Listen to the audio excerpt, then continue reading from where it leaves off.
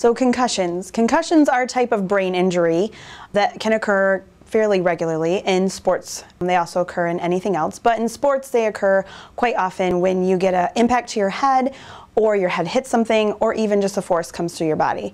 Common signs and symptoms of a concussion, one of the most common obviously is headache, nausea, um, dizziness, sensitivity to light, to noise, um, difficulty concentrating, focusing, paying attention, uh, balance issues.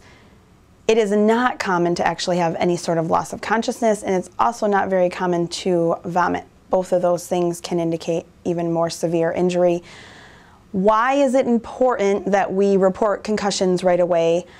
Because if you do not report concussions and continue to play, research actually shows that you have the uh, likelihood of two times the length of recovery as if you stop playing and get treatment right away and take care of it properly.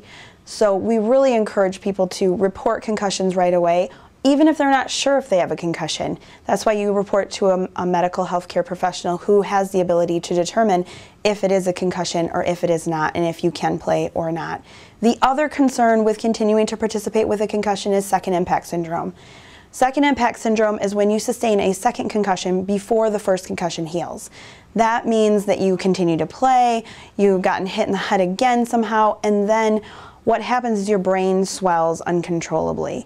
Um, because your brain is housed within your skull, which is not uh, something that's movable, uh, that can be a very big problem and, and it can cause life threatening um, injuries.